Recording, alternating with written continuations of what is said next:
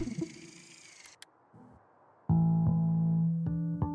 I don't care. Hey, I got Penny. There comes a time in every girl's life when she's really gotta ask herself. Sometimes to ask herself, is she steady? To be not? I mean, don't want to be Johnny,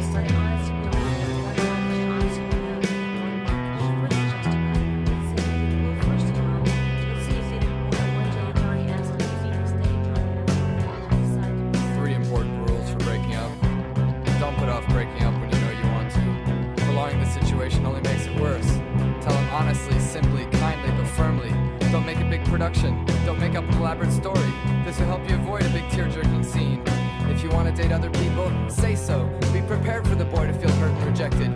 Even if you've gone together for only a short time and haven't been too serious, there's still a feeling of rejection when someone says she prefers the company of others to your exclusive company. But if you're honest and direct and avoid making a flowery emotional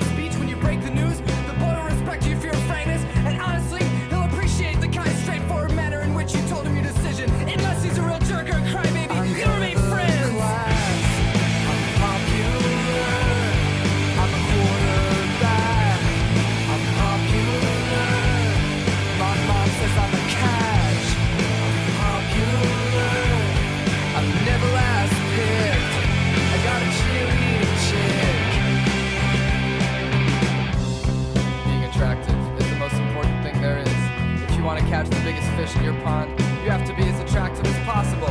Make sure to keep your hair spotless